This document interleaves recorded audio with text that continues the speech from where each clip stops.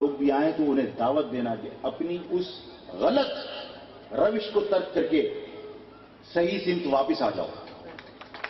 انہیں دعوت دو۔ انہیں دعوت دو۔ کیونکہ ہمارا ہمارا کلچر نہیں ہے۔ اور پھر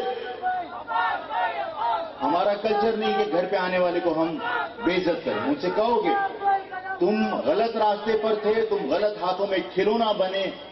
اب تم صحیح سمت واپس آ جاؤ۔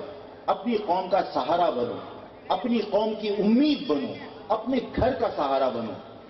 ان بچوں کو احساس دلاؤ کہ تمہاری اس غلط پالیسی کی وجہ سے، تمہاری ان غلط حرکتوں کی وجہ سے۔ آج اس قوم کا کیا حال ہے؟ ان سے پوچھو۔ کہ تم نے اس شہر میں قتل و غارت گری کا جو بازار گرم کیا کیا یہ شہر ترقی کر گیا؟ اس شہر میں ترقی ہوئی۔ آپ ناڈی کریں گے کہ لوگ، یہ ساتھی، یہ کارکنان اپنے بزرگوں سے پوچھیں کہ کیا ریلوے اسٹیشن پہ سائیکل اسٹینڈ کے اوپر سائیکلیں جمع کر کے میکلو روڈ تک ٹرین میں نہیں جاتے تھے؟ اسی قائد آباد کے ریلوے اسٹیشن سے کیا لوگ روزگار کے لیے میکلو روڈ تک ٹرین میں نہیں جاتے تھے؟ شہر ترقی کر رہا ہے یا پستی کی طرف جا رہا ہے؟ اس شہر میں قتل و غارت گھڑی کا نتیجہ کیا نکلا؟ کہ ٹرین سے آپ کہاں آئے؟ بسوں میں کے ٹی سی کی۔ کے ٹی سی کی بسیں ختم ہو گئی مزدہ پہ انحصار کیا۔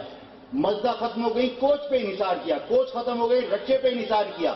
رکشے ختم ہو گئے، چنچی پہ انحصار کرنے پر مجبور ہو گئے۔ اور چنچی کے بعد اب سائل رکشے پر انحصار کرو گے۔ یہ تنزلی ہے یا ترقی؟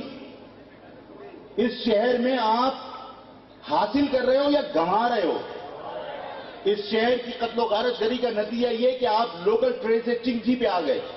اور جس شہر میں امن رہا، وہاں پر ترقی کا عالم یہ کہ جہاں پر آوازیں لگتی تھیں، رکشے والے، تانگے والے جب چلا کرتے تھے تو کہتے تھے، بچنا رکشا رکشے کے اندر منہ ڈال دے گا۔ اور تانگا رکشے میں منہ ڈال دیا کرتا تھا لاہور میں۔